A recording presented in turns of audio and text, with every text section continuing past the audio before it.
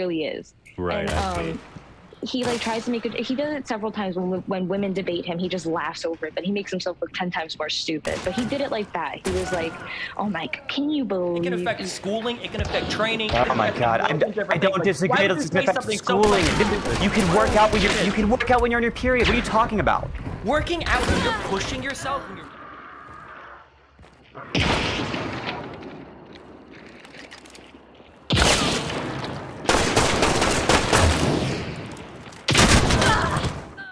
Start as a business decision.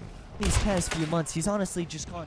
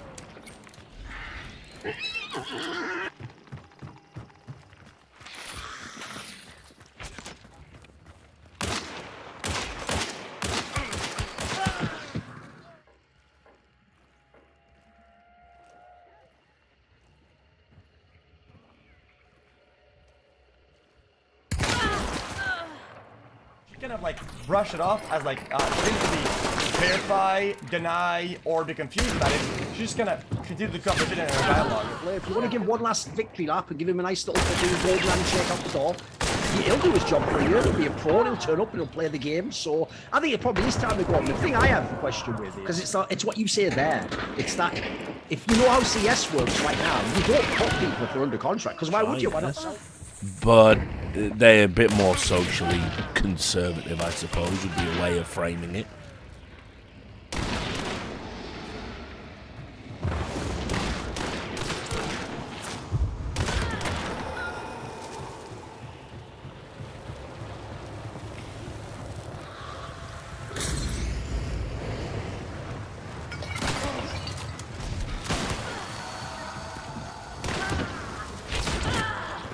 Really since 2008 and certainly since 2013. You alluded to Russia uh, getting rid of their dollar reserves. They've been buying lots of gold since 2008. Most of it. Uh, Um, I don't know. I don't really have a lot of fixed things in my mind relating to those. two. Everybody have the wherewithal to be able to know how to transfer these cryptocurrencies off of Coinbase. Coinbase is kind of where like a lot of the new people go to. Do they have the capability to, and comfortability?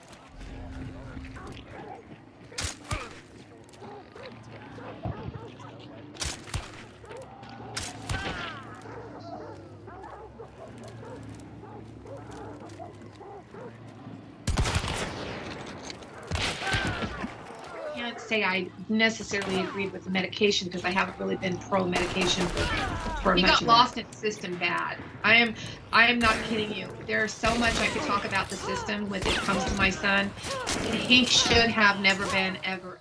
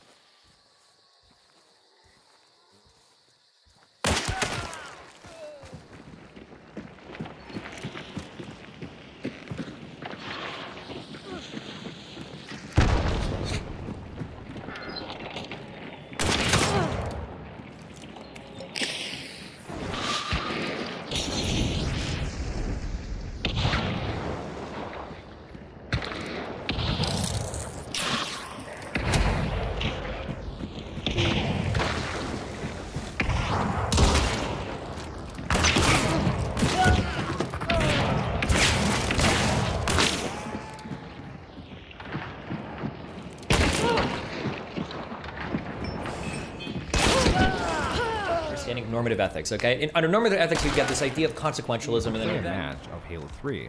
As Keemstar did for enjoyment, he flung various insults at the other players in the lobby that was further drawn out into the match. A typical night in the life of Keemstar almost as regular as any other night. Well, that's the way it seemed at first. The following day, Keemstar began receiving messages with him who stopped bringing the potential victims to life. As seen on Blended, since his time on YouTube, there are some that grew up watching him and now have jobs at YouTube itself. Through this, he was finally able, once and for all, get cleared for promoting that scam several years back. Meaning instead of relying on loophole of not owning Drama Alert, but being allowed to appear on it, he was now granted ownership of the channel and is able to manage it without constraints. Not only that, YouTube was changing in a way that boosted Drama Alert faster than it ever has. As 2016 is remembered as a heavily drama-laden year, with the likes of Leafy is Here and H3H2 battling it out, there was much to cover, and it helped drive views as much as you'd expect to a channel called Drama with each of these videos averaging on the lower end 500,000 views, and on the higher end well over a million. But with 2016 being such a drama-laden year, Keemstar eventually found himself stuck in the